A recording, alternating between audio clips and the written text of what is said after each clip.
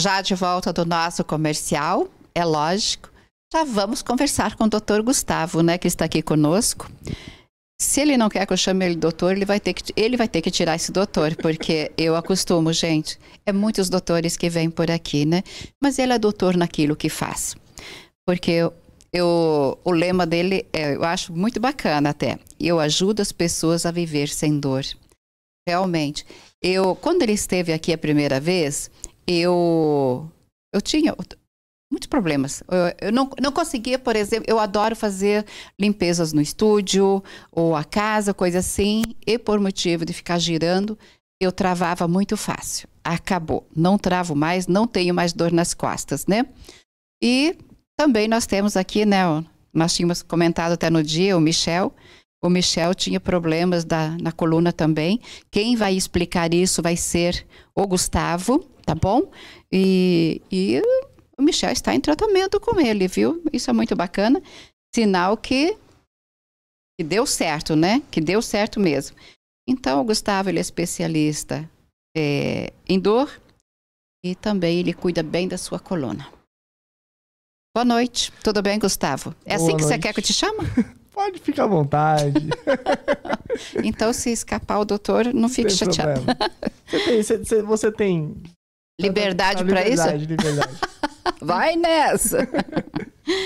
então, eu nós já eu, conversando, eu com o Michel, a respeito, né? A gente vai lá e fala assim, daí, como é que você está se sentindo? É isso que você perguntaria se alguém da sua família estivesse tratando com o Gustavo. Então, é muito bom quando a gente fala assim, nossa, eu estou bem melhor. Vamos falar do Michel, quando ele vamos. chegou. Por que, que o Michel te procurou? Bom, vamos lá.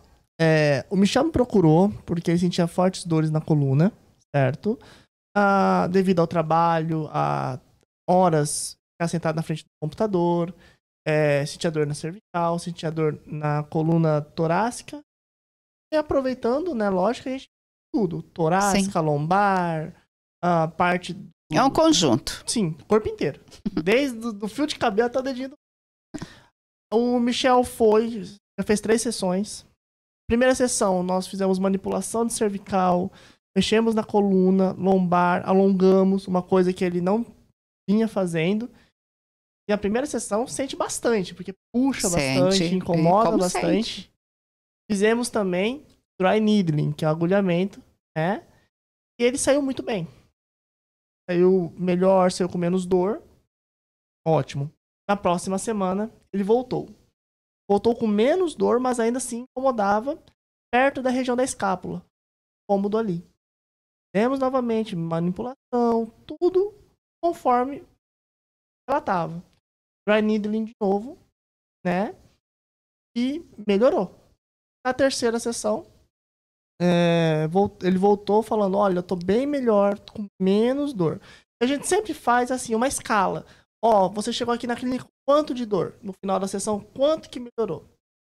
Então ele chegava, vamos supor, ele chegou com 10. Ele saiu com 4. Melhor. Mas a dor que ele tinha, praticamente quase zerou. O movimento voltou, ele não sentia cômodo. Uma coisa muito importante que eu passei por mim sempre ele tá se olhando, é, vendo a postura dele. Porque quando você tá sentado na frente muito tempo, o que acontece? Vai ficar o tempo todo. Né? Encolhendo. É. Com isso, ele foi se, é, se monitorando. E a melhora dele é grande. 0 a 10, eu acredito que 8. Melhor. Porque eu lembro que o Michel. A mão direita ou esquerda que você não fechava bem assim, que você sentia dificuldade? A mão direita.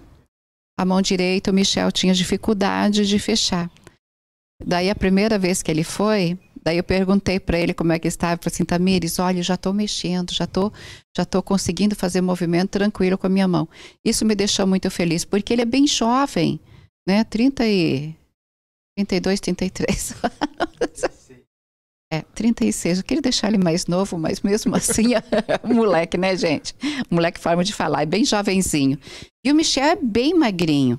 Porque às vezes nós ficamos pensando assim, não, problema de coluna, articulação, é de pessoas gordinhas, né? Não. E não, não é. Porque imagine só, né? O Michel, você deve pesar o quê? 55 quilos? 58? 60? 58? 58 quilos.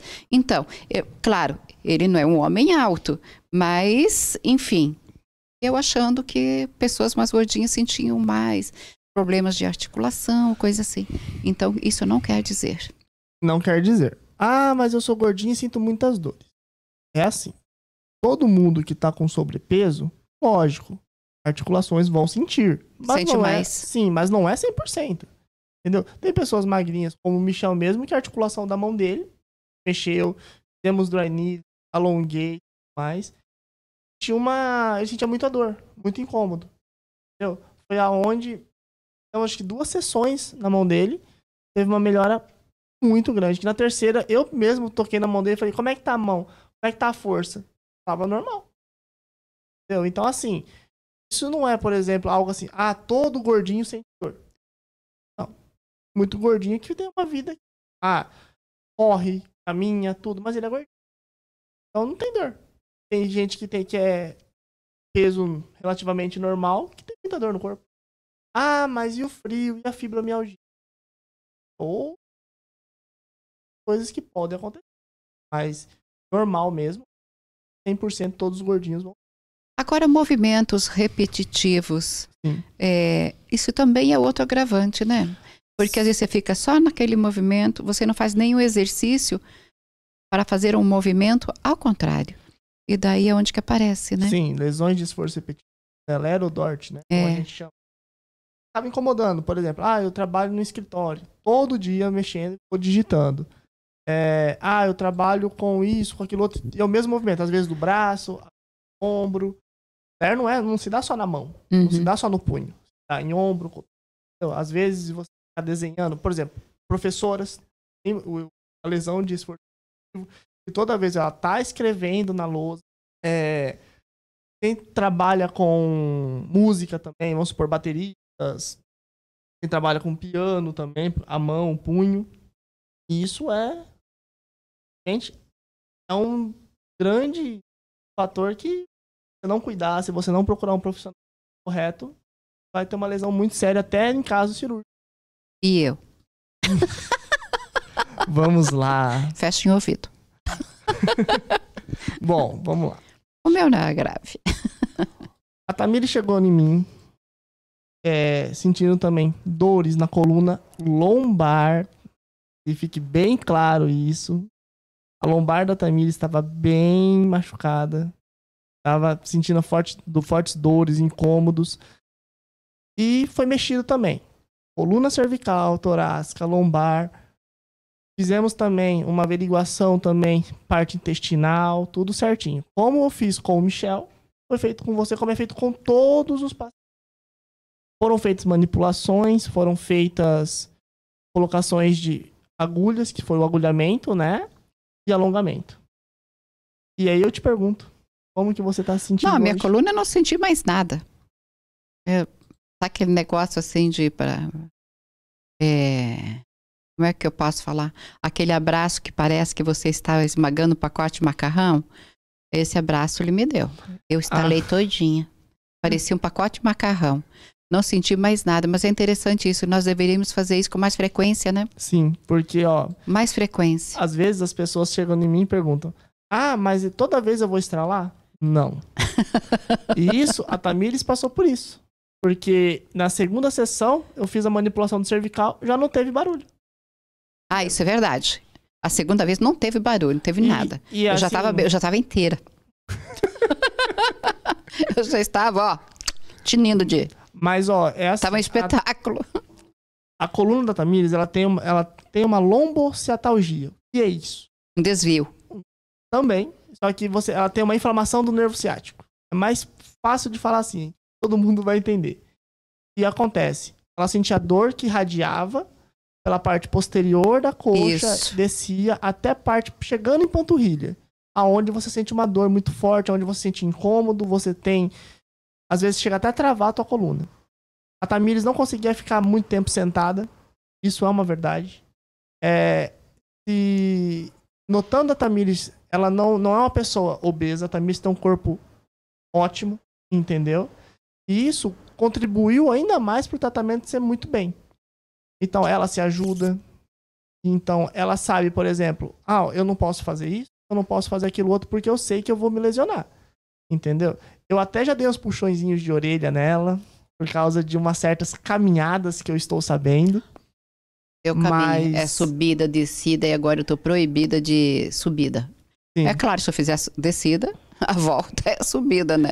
Mas então... ela, assim, ela não é uma paciente que vou falar assim, nossa, dá dor de cabeça. Não dá nenhum tipo de dor de cabeça. É uma paciente que tem uma consciência muito grande.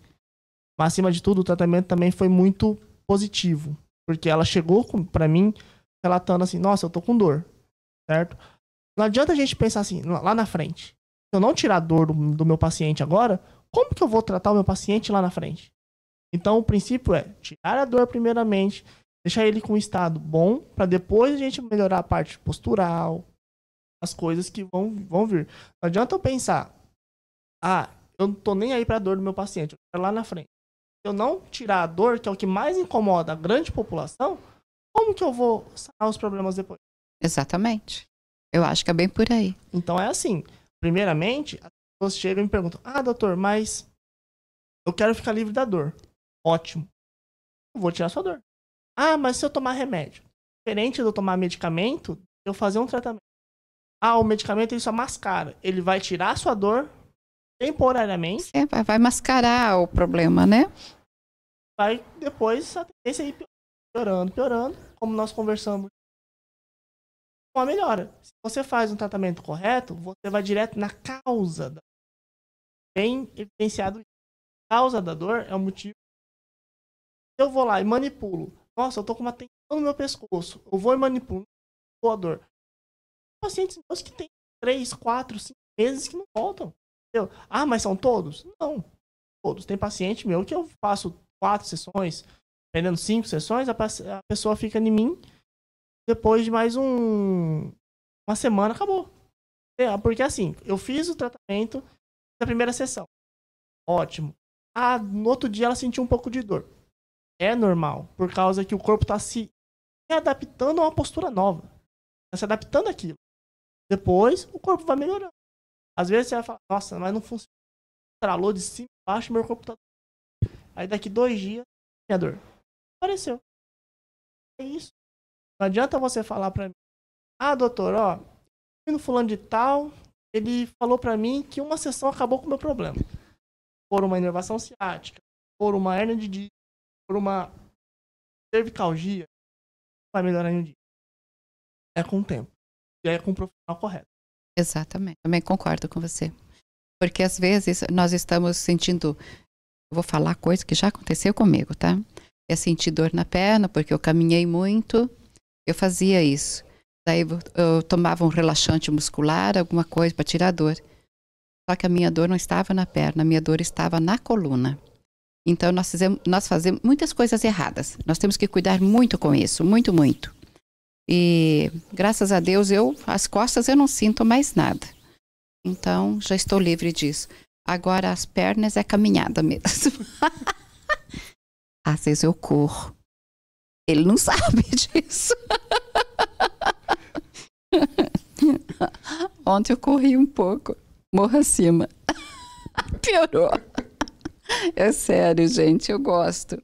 Eu já falei isso para vocês, eu já pesei mais de 110 quilos. Então, eu sou uma pessoa que eu estou o tempo todo uma luta com a balança. E é, contar rápido, eu sei que o meu tempo já terminou, aí que o nosso tempo já terminou. Esses dias eu fui convidada para ser jurada no Colégio Adventista, aquele Masterchef. 68 pratos experimentados às 9 da manhã às 5 da tarde. Para para pensar como que eu vou me manter. Corpinho de violão. Vai ficar mais para corpinho de bujão, né? Mas eu estou me cuidando. Eu caminho todos os dias, mas é isso que ele fala, que ele vai me puxar a orelha. Já me puxou a orelha, na verdade. Ele vai me dar um exercício diferente para me fazer até em casa, a hora que eu tenho tempo. Mas você quer concluir o nosso bate-papo, que foi muito gostoso? é, eu vou concluir que sempre tenha cuidado. Nunca exagere.